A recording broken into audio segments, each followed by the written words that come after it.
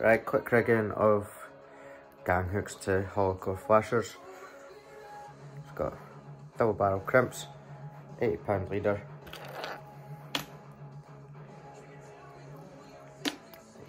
An overhand loop and swivel through a tag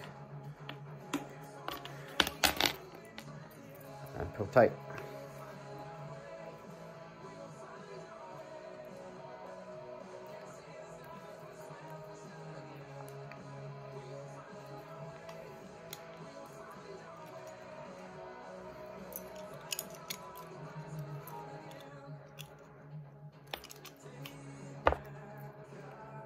Tidy tag.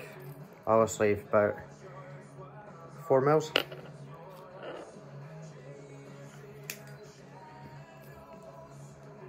Uh, Hollowcore flashers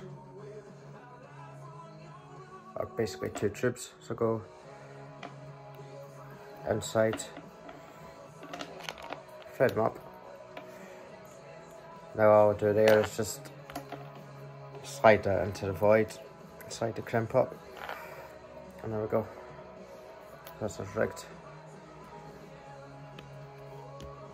Now normally I'll have a longer leader and that will be for like a heavy bottle sinker but today I'm just doing like a single dropper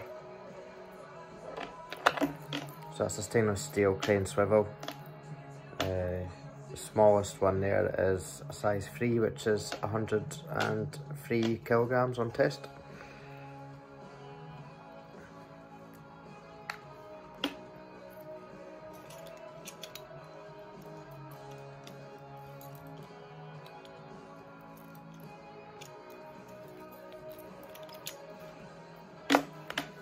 So when we're rigging, do the larger side to top and then your smaller side just takes your whatever length you want to use for your sinker. That's that. Now that's why I've used a bit of sunshine sitting in my face so you can actually see what the flasher does. Now for baiting, if I've got something that I want to like tie in, just move your move your flasher up, give yourself space. Same for unhooking fish as well. And then that just slides back down. Again, it saves you having to like, buy flashers for from tackle shops or whatever that you have to throw out once the hooks are no good. These will these will last you till you lose them. Right, tight lines.